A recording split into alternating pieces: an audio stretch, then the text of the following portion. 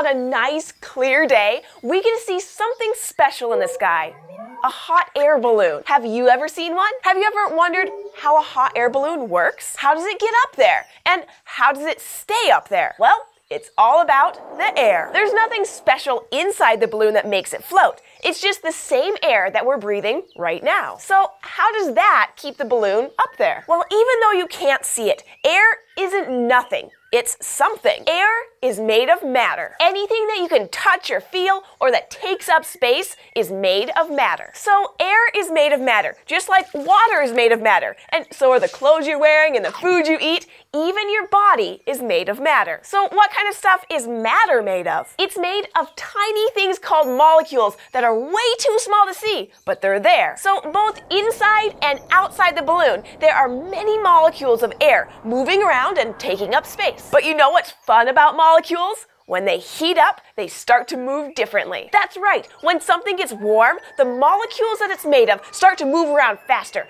bouncing around and spreading out. And that's the important part they spread out. So let's think about how that would happen in a hot air balloon. When the balloon is on the ground and ready to go, it has some air inside it. And that air is the same temperature as the air outside of the balloon. So the air molecules are all moving around at the same speed and are just as far apart from each other, both inside and outside of the balloon. But then the balloon pilot makes the air inside the hot air balloon hot. You see, these balloons don't have engines like airplanes do. They have big heaters that send flames up into the balloon. So when the pilot turns on the flames, it heats up the air inside it. That makes the molecules of air start bouncing around inside and they start to get further and further apart from each other. As these molecules spread out, they start to fill up the balloon even more. And when those molecules of air inside the balloon start to take up more space, we say that the air becomes less dense. Soon, the air inside the balloon becomes less dense than the air outside. Now, maybe you remember when we talked about why some things float and other things sink. We learned that things that are less dense than water will float to the top, while things that are more dense will sink. And the same is true with our balloon.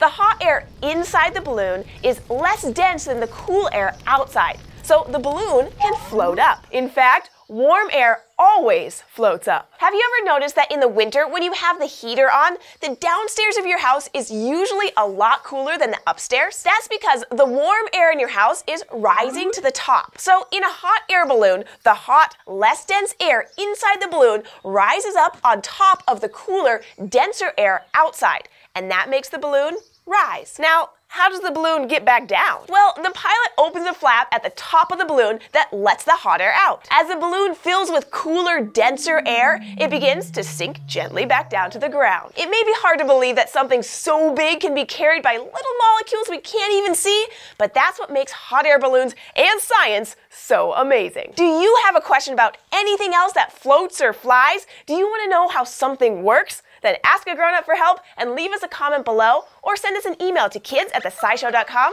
We'll see you next time.